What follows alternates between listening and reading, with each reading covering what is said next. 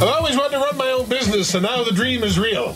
Me and Randy are having the grand opening of the Dirty Burger today. Randy's a hustler, baby. Woo! Look at these dirty things here cooking up nice. Whoa, baby! Ha ha ha!